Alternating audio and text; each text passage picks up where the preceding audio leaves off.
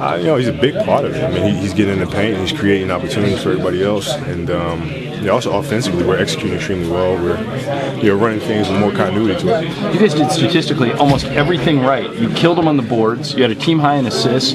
All five of your starters scored in double figures. Surprised the game was as close as it was. They made a lot of shots, man. Just you know, just trying to play the percentages and making them take contested shots. And we did that. They just happened to make them. Was it different to you having sessions out there from the get-go in the starting role? No, no, not really. Not really. I mean, it's uh, you know, he's playing a bulk of the minutes anyway, so um, we just got to start a little early.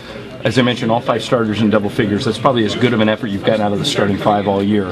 How do you build on it? What do you guys need to do to get better? I mean, I mean, we just continue to do what we do. I mean, it's you know, offensively you'll have nights like this, and you know, but we have to continue to hang our heads on the defensive end of the floor. You know, LaMarcus cut us up pretty good, um, you know, all night long, and you know, we have to do a much better job not letting one player beat us. Are you surprised Sessions has had this much of an impact this soon?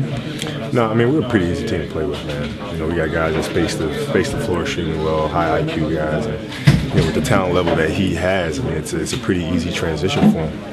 Coach Canales mentioned the fact that you have to plan for the pick and roll now, which you just obviously didn't run as much. What does that do for the rest of the offense since you can still default into all the other stuff you run? Oh, I mean, it makes us more potent. You know, so teams when they come in for shoot around, I mean, they have a lot to discuss. They have a lot to talk about. They have, know, sessions pick and roll. Myself, obviously, Pau, you know, Andrew, um, and uh, you know, Ron's post ups that they have to talk about. So there's a lot to discuss. Thanks. All right, that's it. Go talk to Pau.